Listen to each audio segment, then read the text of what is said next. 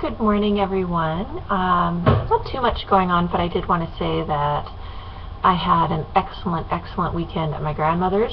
Um, the reason I'm bringing that up in an infertility blog is that she's one of the few uh, relatives who I can really talk to about infertility.